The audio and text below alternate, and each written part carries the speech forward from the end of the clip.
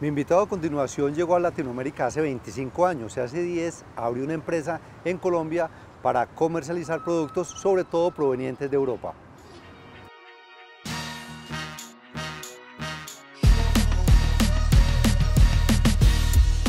Ar, bienvenido a nuestro programa Negocios en tu Mundo. Muchas gracias Juan Carlos por la oportunidad de estar aquí. Muchas gracias. Ar, contemos sobre ese comienzo en donde usted encuentra que hay una oportunidad porque muchos europeos, compañías, quieren abrir mercado en Colombia y usted dice, bueno, yo soy el preciso para ayudarles. Eh, sí, cierto, Juan Carlos. Eh, como dijiste, yo llegué hace 25 años al continente suramericano, eh, inicialmente trabajando en el sector logística.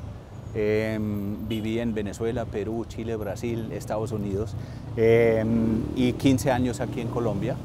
Y hace 10 años decidimos de abrir una empresa consultoría empresarial aquí en Colombia. Inicialmente Ar y su esposa empezaron a asesorar en la parte comercial, pero muy pronto se dieron cuenta que la consultoría tenía que ser más amplia y cubrir temas de logística, de tecnología, parte legal, en fin. Contemos sobre eso. Correcto, Juan Carlos. O sea, nosotros nos dimos cuenta que realmente los, los empresarios que se quieren venir a Sudamérica o a Colombia o que quieren salir de Colombia hacia el mundo requieren una asesoría muy especializada eh, y eso incluye la parte logística que Colombia lamentablemente eh, tiene altos costos logísticos, lo que hacen las, por ejemplo, el tema de las exportaciones muy sensible al, al costo del producto final. Y en el otro lado de las empresas europeas que quieren venir a Colombia es el temor del desconocimiento del mercado y eh, de las condiciones acá en, en, nuestro país.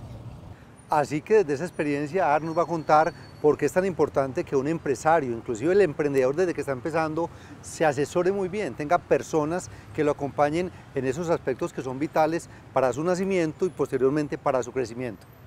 Mira, nosotros pensamos que hay que hacer las cosas bien desde el principio, ¿sí? y eso incluye que uno tiene que cumplir con lo que son eh, la parte legal en Colombia, la parte tributaria y nosotros incluimos ese paquete en la asesoría de nosotros, o sea, que realmente desde el principio las empresas están actuando como debe ser, que están aportando al sistema eh, tributario como debe ser eh, y en la parte logística el, el manejo del país, que es un tema muy especial. O sea, ya dejamos de limitarnos al sector de promover, de comercializar productos, sino ya ampliamos al, al, manejo completo de las empresas aquí en Colombia.